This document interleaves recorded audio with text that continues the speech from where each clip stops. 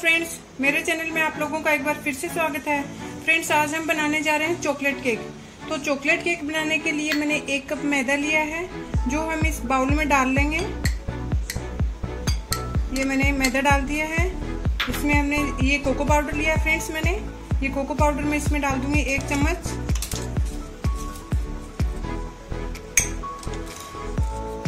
एक चम्मच मैंने कोको पाउडर डाल दिया है। ये मैंने पाउडर शुगर लिया है, जो मैं ये दो टीस्पून इसमें डाल दूँगी। और ये मैंने बेकिंग पाउडर लिया है। इसका मैं आधा चम्मच डाल दूँगी।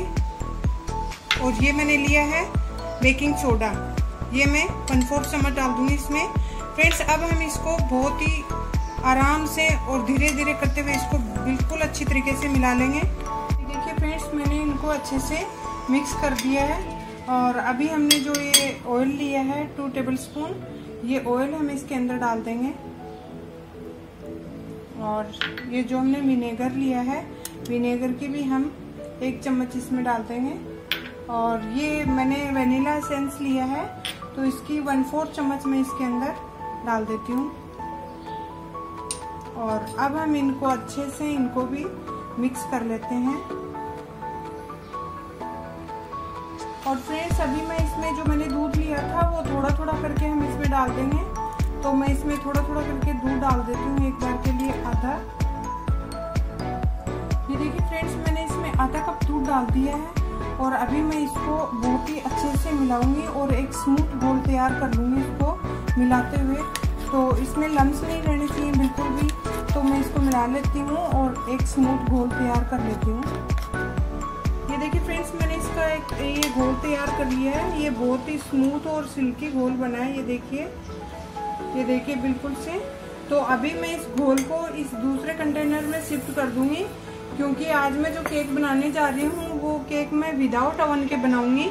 तो मैं इस घोल को इसके अंदर शिफ्ट कर देती हूँ। ये फ्रेंड्स मैंने घोल को इस कंटेनर में शिफ्ट कर दिया है। अभी मैं इसमें बिस्किट्स के साथ बनाऊँगी। तो मैं ये वाले बिस्किट मैंने ले लिए हैं और मैं इनको इन, इनको थोड़ा थोड़ा क्रश करके और इसमें मैं डाल देती हूँ थोड़ा छोटा छोटा पीस करके। फ्रेंड्स ये डायरेक्ट फैंटेसी मैंने बिस्किट इसके अंदर डाल दिए हैं। अभी मैं इनको मिक्स कर देती हूँ।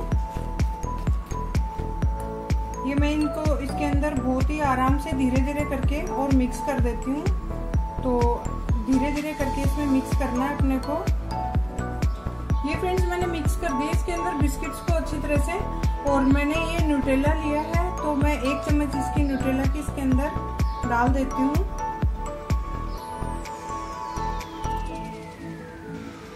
ये देखिए फ्रेंड्स, मैंने सारी चीज़ों को अच्छी तरह से इसमें मिक्स कर दिया है। और फ्रेंड्स, मैंने इस साइड में गैस पे एक कढ़ाई रखी है, जिसमें मैंने नमक डाला है और उसके ऊपर स्टैंड रखा है। फ्रेंड्स, ये नमक मैंने पहले भी यूज़ किया हुआ है तो ये अच्छे से गर्म हो गया है, मैंने इसको गर्म कर लिया है। और अब जो हमने ये कंटेनर लिया है, ये मैं इसके अंदर डाल देती हूँ और इसको मैं ढक के, और जब तक ये केक तैयार नहीं होगा, जब तक मैं इसके अंदर इसको पकाऊँगी। ये देखिए फ्रेंड्स हमारा ये जो केक है, ये बनके तैयार हो गया है। तो इसको हम चेक कर लेते हैं। ये मैंने टूथपिक ली है इससे मैं चेक कर लूँगी। ये देखिए, ये इसको हम अंदर डालेंगे। ये देखिए, ये बिल्कुल भी नहीं लग रहा है। ये सेट हो गया है बिल्कुल से। तो अभी हम गैस को कर देते हैं बंद और मैं इसको निकाल के दूसरे कंटेनर में आपको दिखा दूँगा ये देखिए फ्रेंड्स मैंने इसके ऊपर जो केक है उसको मैंने कंटेनर में निकाल लिया है और उसके ऊपर मैंने ये न्यूटेला की कोटिंग की है। हमारा केक है, वो चॉकलेट केक है तो इसलिए मैंने न्यूट्रेला से इसके ऊपर कोटिंग कर दी है। और अभी हमने जो पाउडर शुगर लिया था, वो हम छलनी, ये मैंने लिया कटोरी और छलनी में डाल के हल्का सा बुरक देंगे। इससे हमारा, इसका ऊपर का जो डिज़ाइनिंग है, वो बहुत अच्छी हो जाएगी। थोड़ा थोड़ा करके हम हल्का हल्का सा। ये देखिए फ्रेंड्स, मैंने इसके ऊपर ये जो हमने पाउडर शुगर लिया था, उससे मैंने हल्का हल्का सा इसके ऊपर कोटिंग कर दी है। अभी हम इस पर थोड़ा सा चॉकलेट सिप लेंगे और वो इसके ऊपर डाल देंगे हल्का हल्का सा।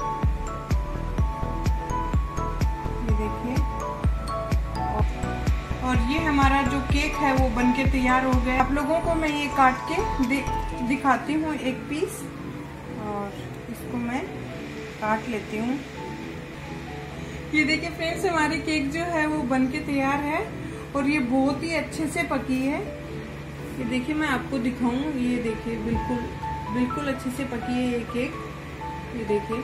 तो फ्रेंड्स, आप भी ये ये केक बनाइए, खाइए, विदाउट अवन के। और अपने कमेंट्स मेरे साथ शेयर कीजिए और मेरे चैनल को लाइक और सब्सक्राइब करना ना भूलें। धन्यवाद, फिर मिलते हैं नेक्स्ट वीडियो